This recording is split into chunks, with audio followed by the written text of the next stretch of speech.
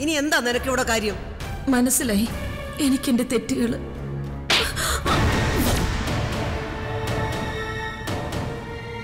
എന്തിനടിച്ചെന്നറിയോ വള്ളം പറഞ്ഞാൽ മരണം വരെ നിനക്ക് നിന്റെ തെറ്റുകൾ മനസ്സിലാവില്ല.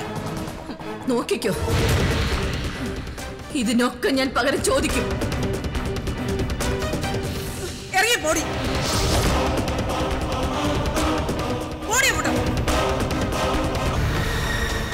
ഞാൻ ഒറ്റപ്പെട്ടു പോയല്ലോ മോളെ. അതെന്റെ കുറ്റമല്ല സ്വന്തം പ്രവൃത്തിയുടെ ഫലമാണ് ഞാൻ അങ്ങോട്ട് വരട്ടെ മോളെ.